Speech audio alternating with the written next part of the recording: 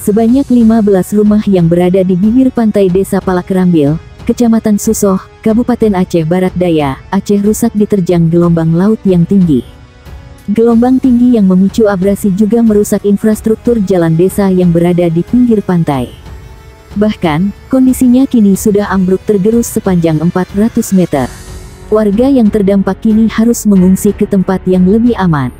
Seorang warga yang rumahnya ikut rusak, Nur Hayati mengatakan abrasi pantai dan tingginya gelombang laut sudah empat kali terjadi dalam bulan ini. Nur Hayati berharap kepada pemerintah daerah segera turun tangan.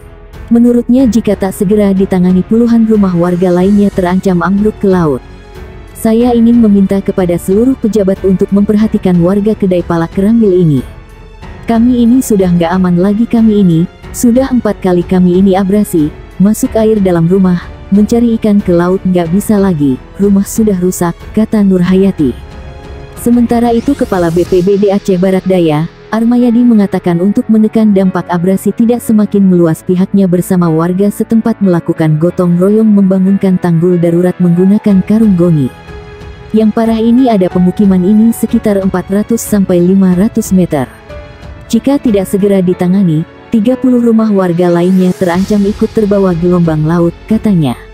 Warga berharap agar pemerintah memasang batu gajah atau breakwater di bibir pantai, jika tidak segera ditangani abrasi akan terus mengancam rumah-rumah warga lainnya.